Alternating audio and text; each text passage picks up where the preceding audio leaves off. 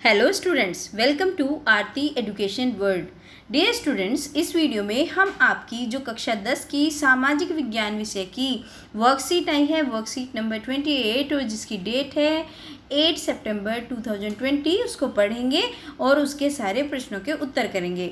बच्चों, देखो इसकी थोड़ी सी क्वालिटी आपकी वर्कशीट की ऐसी आई है, मैं डिस्क्रिप्शन में आपको लिंक दे दूँगी, वहाँ से डाउनलोड करके आप देख सकते हैं। ठीक है, इसको आपको बता देती हूँ। देखिए वैश्वीकरण और भारतीय अर्थव्यवस्था विदेश व्यापार और बहुराष्ट्रीय कंपनियाँ ये है आपका टॉपिक जो आपका अर्थशास्त्र विषय से है ये आपका ये टॉपिक लिया गया है। अब इसमें दिया गया है बीसवीं शताब्दी के मध्य तक उत्पादन मुख्यतः देशों की सीमाओं के अंदर ही सहमत था। जब तक बीसवीं शताब्दी नहीं आई क्या होता था? जो प्रोडक्शन हो रहा है देश अपने सीमा के अंदर ही कर रहा है। उससे बाहर कहीं उसका जा, जाता नहीं था। अंदर ही सीमित था। बस उसका लिमिटेड एक एरिया था कि वो अपने देश में ही है। बहुराष्ट्रीय कंपनियाँ एक से अधिक देशों में उत्पादन पर नियंत्रण या स्वामित्व रखने वाली कंपनियों के परिदृश्य में आने के पूर्व, आने के पूर्व भारत जैसे देशों से कच्चा माल और खाद्य निर्माण, खाद्य पदार्थ निर्यात होते थे और तैयार वस्तुओं का आयात होता था। मतलब जब तक ये बहुराष्ट्रीय कंपनी नहीं आई थी, जिसको आप कहते हो, क्या कहते हो? एमएनसी है ना? मल्टीनेशनल कंपनी है ना? हिंदी में उसको बहुराष्ट्रीय कंपनी बोलते हैं। आप बोलते हो ना कि हमारा हमारा भाई तो एमएनसी में काम करता है। तो उसका मतलब यही होता है कि वो ए, एक से अधिक देशों में जो उत्पादन पे नियंत्रण करती है और उसमें स्वामित्व रखती हैं। वो होती हैं बहुराष्ट्रीय कंपनियाँ। उससे पहले जो भारत देश जैसे जो देश थे ना कच्चा माल और खाद्य पदार्थ वहाँ से निर्यात होते थे।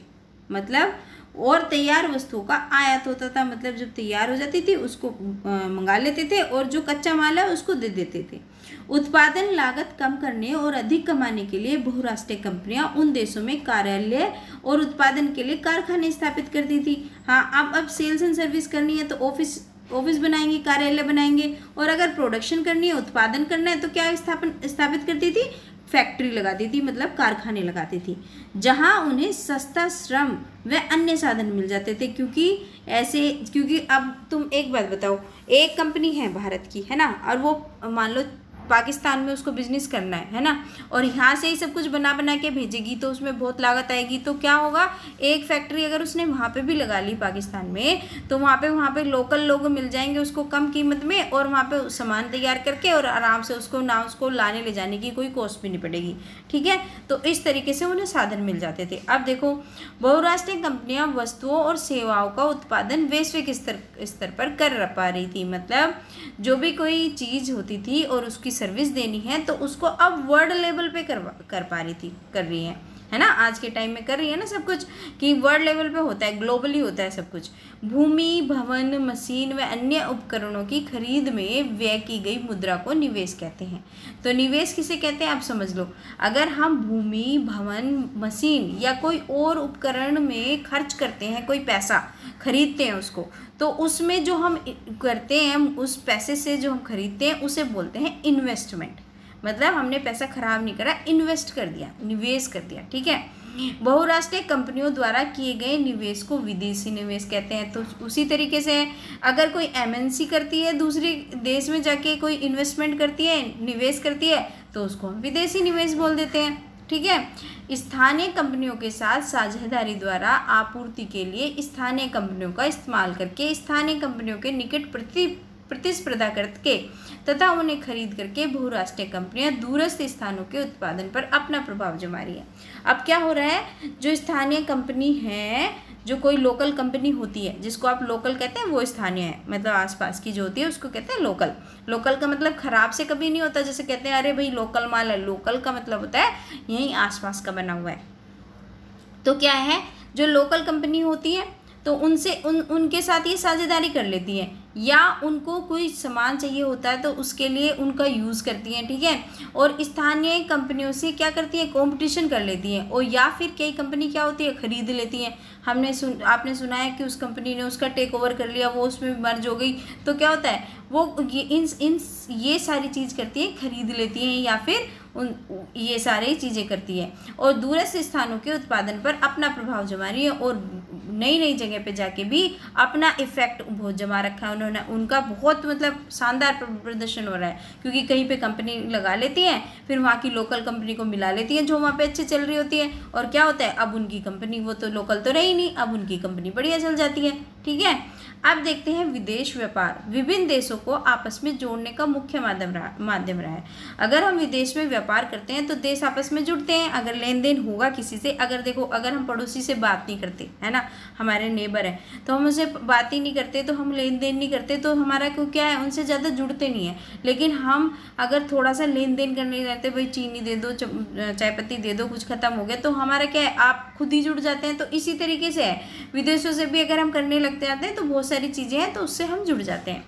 व्यापारिक हित के कारण ही ईस्ट इंडिया कंपनी भारत की ओर आकर्षित हुई। हम सबको पता है, क्योंकि वो बिज़नेस करने आई थी और अपने बिज़नेस करने की वजह से ही इंडिया की तरफ़ आई कि यहाँ पे बहुत मसाले हैं, है ना? मसालों का तो करने आई थी वो सबसे पहले। वास्तव में विदेश व्यापार अपने देश के बाजारों से बाहर बाजारों में पहुँचाने के लिए उत्पादकों का एक अवसर प्रदान करता है।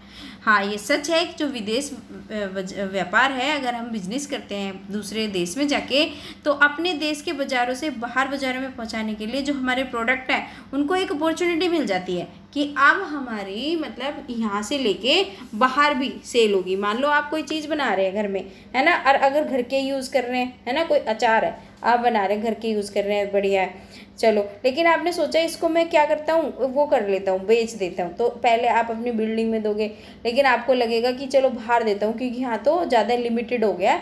तो जब हम उसको बाहर पहुँचाएँगे तो हमारी सेल भी बढ़ेगी। तो इसी तरीके से कि अपने को फ़ायदा पहुँचाने के लिए वो ये करते हैं। विदेश व्यापार विभिन्न देशों के बाजारों को जोड़ने या एकीकरण करने में सहायक होता है। और ये भी सच है कि विदेश व्यापार, चलो ये ईस्ट इंडिया कंपनी की अगर हम बात छोड़ दें तो क्या करता है? लोग आपस में, अब सारे के सारे देश, भारत हो या कोई भी देश हो, विकासशील हो, विकसित हो, सब एक दूसरे से जुड़े हुए हैं बाज़ार के माध्यम से। तो अब ये जो बाज़ार होते हैं, लोगों को एकीकरण करने में भी मदद करते हैं। अगर एक दूसरे को कोई नुकसान पहुंचाता है तो दूसरा भी कर देता है, वो भी उसका माल बंद कर देता है। उसके, उसका प्रोडक्ट रोक देता है तो क्या होता है? तो एक दूसरे से बिल्कुल जुड़े हुए हैं सब चीज़।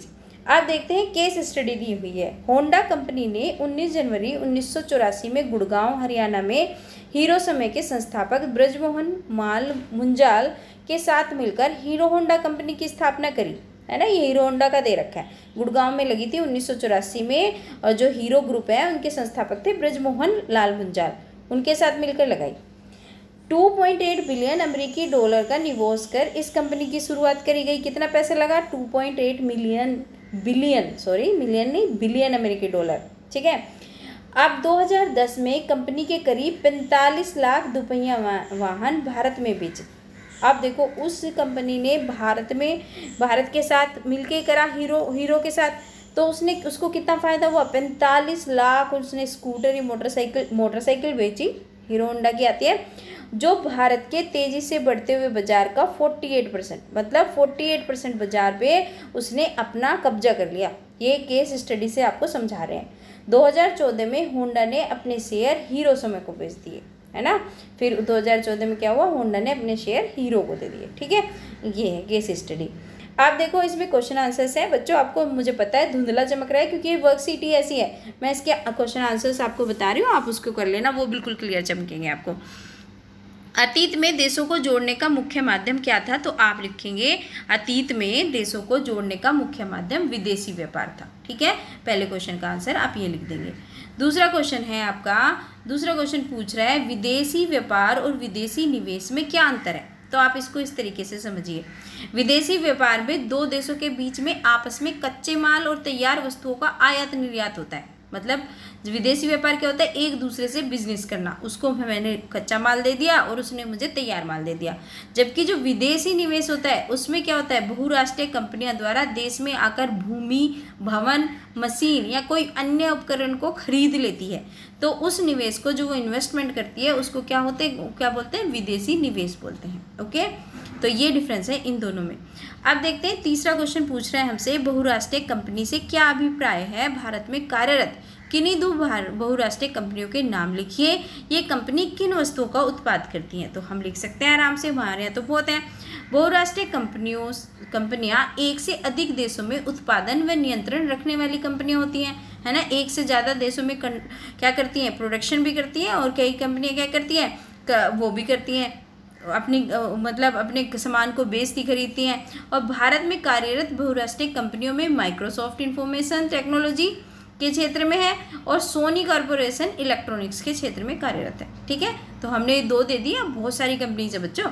अब देखते हैं, चौथा क्वेश्चन क्या है? फोर्थ क्वेश्चन इज़ बहुराष्ट्रीय कंपनियों द्वारा विकासशील देशों में कारखानों की स्थापना का प्रमुख उद्देश्य क्या था? ठीक है?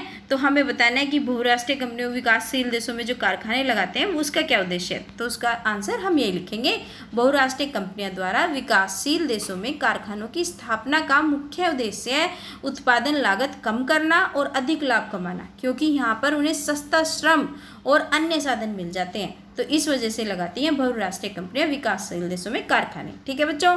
तो ये थी आज की आपकी वर्कशीट 28 सोशल साइंस की। अगर आपको मेरी वीडियो से हेल्प मिली है ना, अगर आप चाहते हैं कि मैं ऐसी वीडियो और बनाऊँ तो please like the video subscribe the channel and don't forget to share in your all study related group thank you